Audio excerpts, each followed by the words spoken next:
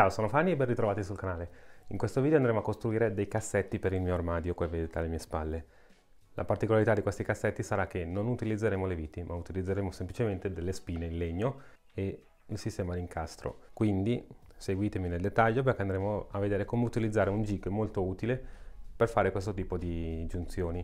Utilizzerò anche questa volta delle guide a estrazione totale con chiusura ammortizzata però, quindi adesso vi faccio vedere nel dettaglio come sono fatte, come le ho montate e poi vediamo anche come dimensionare i cassetti. Ok, come possiamo vedere qui ho realizzato quattro cassetti, quindi come dicevo sono dimensionati appunto su misura, ho, non ho utilizzato viti e ho installato delle guide a estrazione totale. Cosa significa? Che il cassetto esce completamente, quindi è completamente accessibile e la chiusura ammortizzata cosa fa? Quando io lo vado a chiudere non va a sbattere ma si chiude dolcemente grazie a una molla inserita nelle guide. Questo permette di prendere qualsiasi cosa in modo comodo, quindi uscendo completamente il cassetto si riesce ad accedere a qualsiasi cosa in modo veramente comodissimo e poi si richiude. Quindi io così ho guadagnato tantissimo spazio rispetto a prima. Quindi adesso andiamo a vedere come dimensionare i cassetti prima cosa da fare quando si fa un cassetto incassato è misurare la luce, quindi vado a misurare l'armadio per capire quanto far grande il cassetto. Qui abbiamo 891 mm di luce. A questi cosa devo togliere? Devo togliere lo spessore delle guide. Le guide sono 12,7 mm, arrotondo a 13, per 2 26 mm, quindi da questo devo togliere 26 mm. Altro problema qua cos'è? Che io ho le porte le ante scorrevoli. Queste, queste ante scorrevoli hanno un gap qua, quindi mi rubano un po' di luce. Quindi devo misurare anche questo quant'è. Quindi io qui ho 18 mm. Una volta fatte queste misure vado a ricavarmi quanto sarà grande il cassetto e anche per la profondità stessa roba. Il mio armadio è 56,5, farò un cassetto da 55 giusto per essere, anche perché la guida hanno misure standard, quindi io prenderò delle guide da 55 cm, farò il cassetto da 55 cm.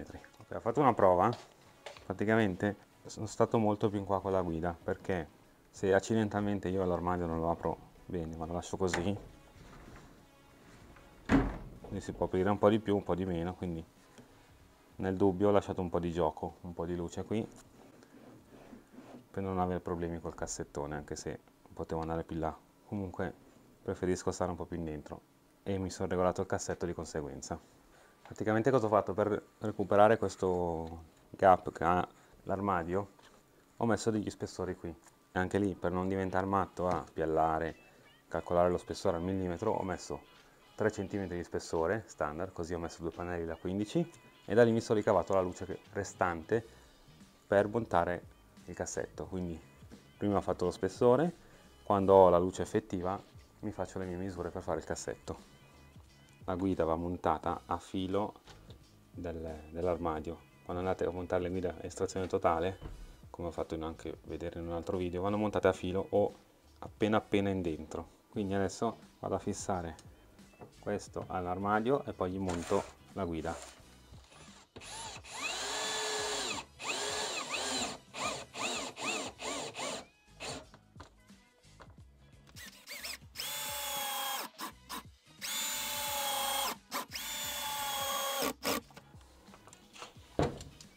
Aprirle al massimo poi qui c'è una,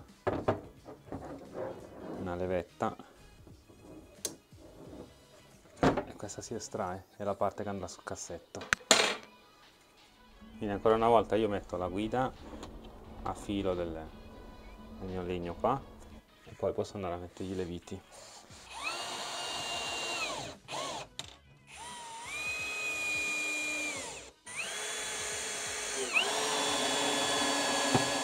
faccio lo stesso lavoro da questa parte. Di qui ovviamente non ho bisogno di mettergli lo spessore quindi vado a montare la guida direttamente sull'armadio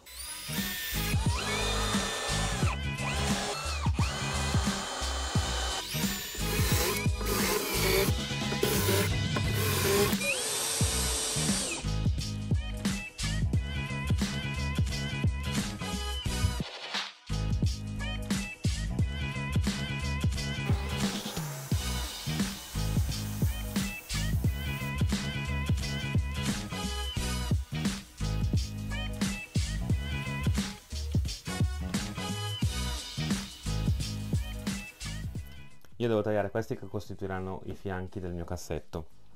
Il mio cassetto sarà montato così questo sarà il fronte e il fianco andrà in questo modo così. Quindi la misura finale la profondità finale sarà data da, dal fianco più fronte e retro. Potrei misurare lo spessore davanti e lo spessore dietro sottrarlo alla misura finale e selezionare e impostare la slitta. Però in questo modo avrei dopo il pezzo a troncare che cozza contro la, la battuta parallela e non sarebbe proprio il massimo del comfort. Un lavoro ancora più preciso da fare è sapere quant'è la profondità del cassetto quindi nel mio caso è 550 imposto la guida a 550 prendo due pezzi di scarto dello stesso spessore e materiale di quello che andrà a costituire fronte e retro del cassetto e li appoggio davanti alla guida. Poi prendo il pezzo e vado in battuta a questo modo. Così. A questo punto blocco il pezzo.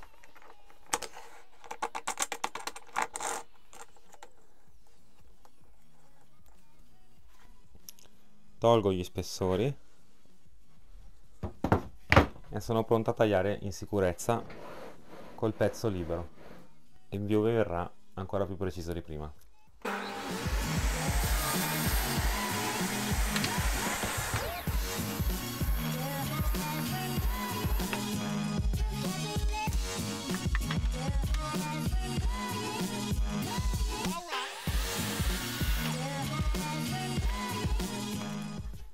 Bene, a questo punto vorrei fargli il, la scalanatura per il fondo, per installare il fondo, che sarà un pannellino di faesite come questo da 3 mm.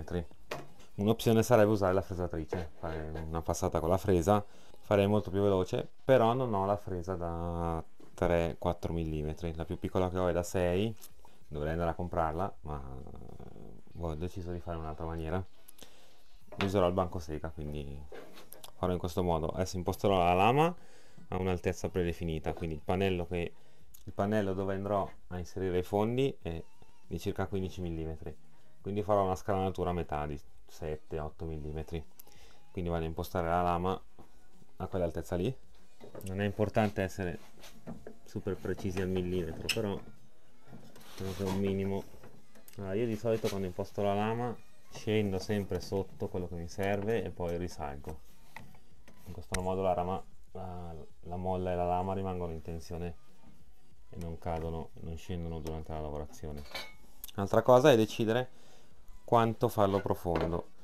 Direi che almeno un centimetro bisogna lasciarglielo perché se andiamo troppo vicini al bordo rischiamo che si spezzi. Quindi farò un centimetro e da lì andrò in su perché? Perché la, la lama è da 2 mm.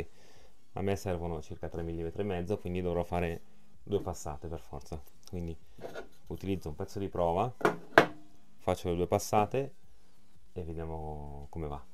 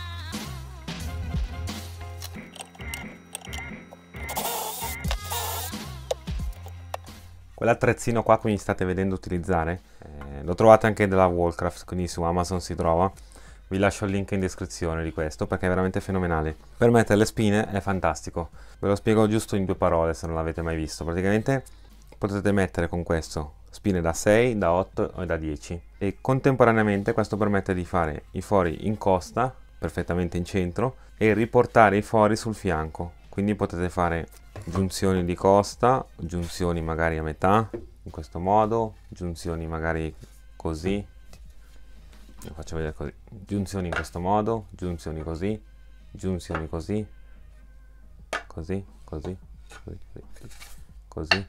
qualsiasi giunzione con le spine. Ed è fantastico. Adesso vediamo la prima fase è fare il foro di, di costa. Quindi grazie a questi quattro spessori riusciamo a trovare il centro. Il funzionamento è semplicissimo. Voglio mettere una spina da 10 prendo qualsiasi pezzo faccio questo movimento quindi lo incastro tra i due spessori e mi ritrovo perfettamente mi trovo perfettamente il centro. Se invece per esempio voglio fare il foro da 8 utilizzo questi due quindi prendo il pezzo lo incastro tra questi due e mi trova il centro. Stessa cosa con quello da 6 basterà metterlo qua incastrarlo in questa maniera e automaticamente farò il foro. Nel mio caso appunto devo fare il foro da 8 quindi vado a incastrarlo qua. Io adesso essendo un pezzo molto piccolo mi aiuto con un riscontro a fianco perché se facessi così non avrei abbastanza agio. Quindi mi sono segnato più o meno dove voglio fare il foro così. Se da un lato mi tocca la guida basterà mettere dall'altra parte mi sono trovato il mio foro e vado a fare il buco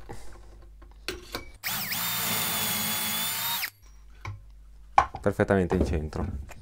Un altro trucchetto da utilizzare è, prima di iniziare a fare i fori, misurare le nostre spine.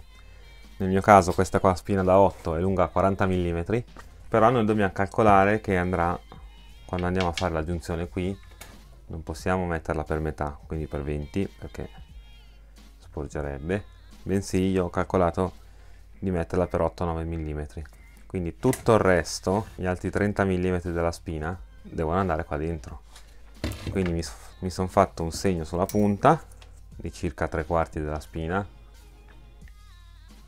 in modo che quando andrò a giuntare la spina entrerà per quasi la totalità della lunghezza dentro qui perché c'è spazio avanzeranno fuori 8-9 mm che andranno così.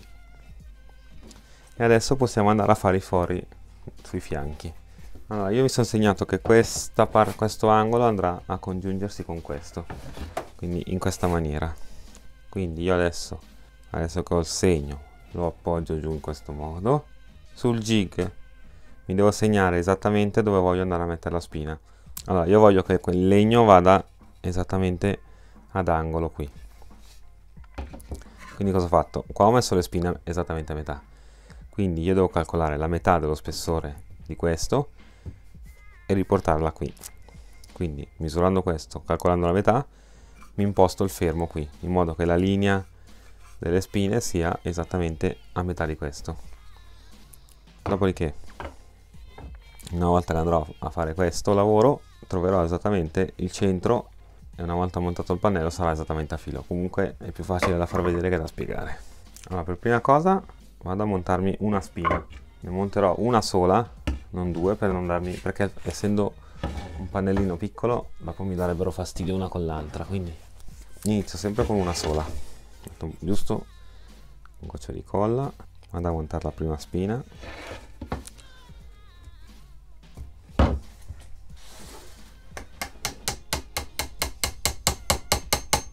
lascio sporgere la spina giusto quel tanto che mi serve per fare la giunzione riappoggio il pannello.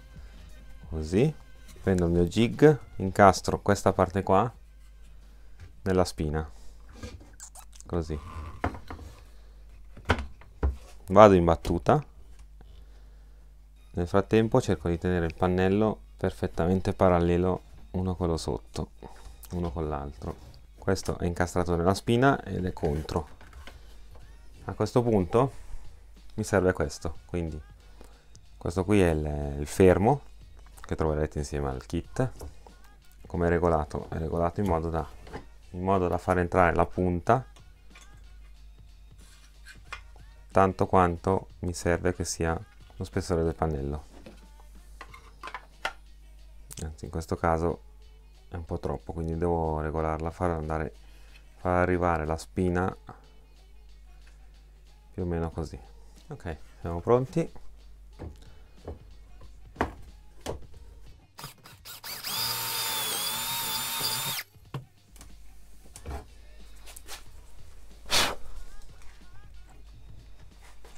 Il foro è perfettamente perpendicolare alla spina. Adesso posso andare a montare la seconda spina così ho un appoggio stabile.